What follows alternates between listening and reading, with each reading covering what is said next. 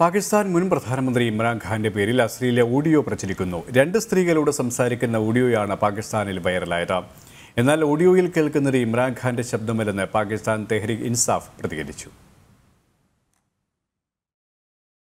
രണ്ട് സ്ത്രീകളോട് ലൈംഗിക ചുവയോടെ ഇമ്രാൻഖാൻ സംസാരിക്കുന്ന ഓഡിയോ ആണ് പ്രചരിക്കുന്നത്. സെയ്ദ് അലി ഹൈദർ എന്ന മാധ്യമ പ്രവർത്തകനാണ് വിവാദ ഓഡിയോ പുറത്തുവിട്ടത്. പാകിസ്ഥാൻ പൊതുതെരഞ്ഞെടുപ്പിലേക്ക് നീങ്ങുന്നതിനിടെയാണ് മുൻ പ്രധാനമന്ത്രിയുടെ ലൈംഗിക ഓഡിയോ വൈറലാകുന്നത്. എന്നാൽ ഓഡിയോയിൽ കേൾക്കുന്നത് ഇമ്രാൻഖാന്റെ ശബ്ദമല്ലെന്നാണ് പി ടി ഐ വൃത്തങ്ങൾ വ്യക്തമാക്കുന്നത്. രാഷ്ട്രീയ ലക്ഷ്യം വെച്ച് ശത്രുക്കൾ നടത്തുന്ന പ്രചരണമാണിതെന്നും പാകിസ്ഥാൻ തെഹരീക്ക് ഇൻസാഫ് നേതാക്കൾ പറയുന്നു. അടുത്തിടെ ഇസ്ലാമാബാദിൽ സർക്കാർ വിരുദ്ധ പ്രക്ഷോഭം നയിച്ച ഇമ്രാന്റെ കാലിന് വെടിയേറ്റിരുന്നു. നിരവധി അഴിമതി കേസുകൾ നേരിടുന്ന ഇമ്രാന്റെ പ്രതിച്ഛായ വല്ലാതെ മങ്ങി നിൽക്കുന്നതിനിടെയാണ് അശ്ലീല ഓഡിയോ കൂടി പ്രചരിക്കുന്നത്.